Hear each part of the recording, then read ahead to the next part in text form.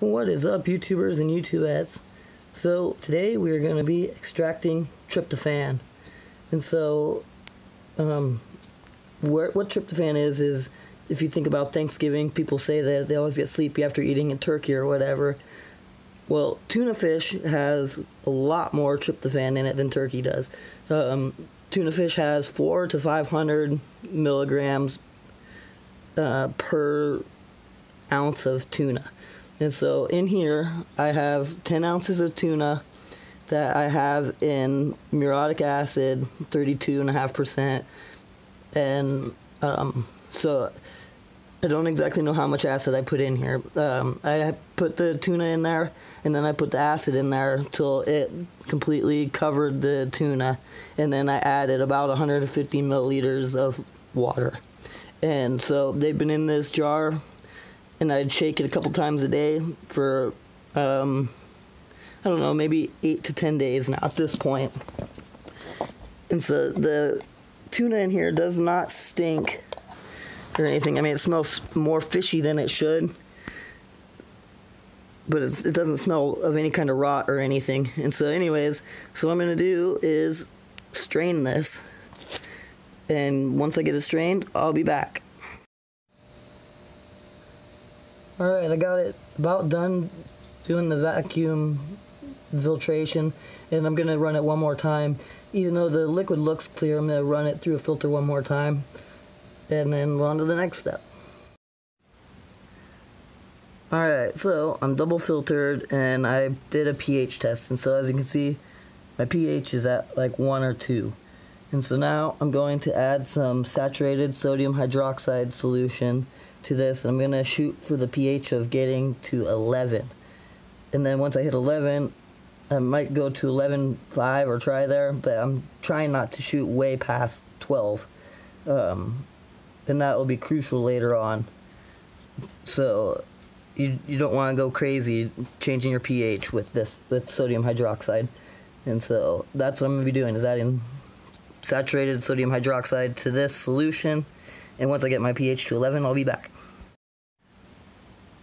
Something I'd like to point out real quick is that this is an exothermic reaction. It's not too crazy, but it will get warm. And so now you can see that I have like kind of like floaty looking things in my solution. Those happened at the same time my pH really drastically changed. And I didn't hit 11, I went straight to 12. This is what it looks like from a side view, so you can kind of see what I mean by the floaties in it, if I can get a good view.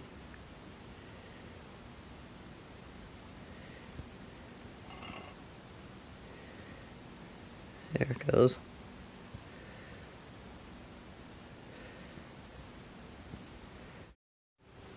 Okay, I transferred it to a jar with a lid, and then um, you can see all the amino acid, which is what this stuff is, is settling to the bottom. And I'm going to put it in a fridge until it cools off. And it's important that you don't add anything um, at, past this point without it being chilled at least to room temperature. And so once this is solution's cooled, I'll be back. My solution's good and cold. And so now I'm going to add about, I don't know, 50 to 75 ml of DCM. And now I'm going to wait a day or so. And I'm going to shake this every once in a while for the next day.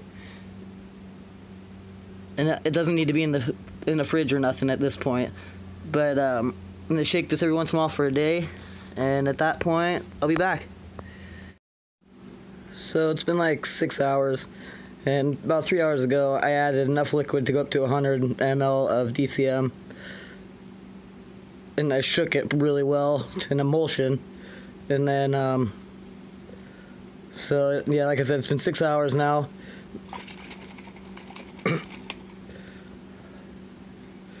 Shake it up, and I'm gonna wait longer now. Just showing you guys how you can see all the layers.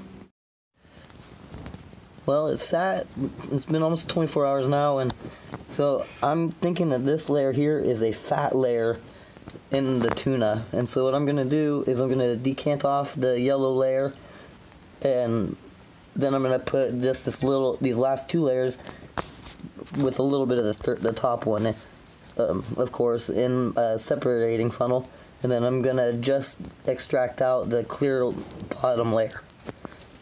And so when I do that, I'll be back. Alright, I'm just going to take a couple drops of my DCM in the bottom and put it over on here just to let it dry to show if that if it's going to be oily or if it's going to crystallize and that will let me know if I need to have a drier solution or not or if I need to defat or what steps I need to take or if it just crystallizes out just fine then I know that I can just take that my solution out of the bottom of that, dry it, and then I'll get my tryptophan that way. Alright, you can see right there in the very middle of the screen, there's little tiny crystals.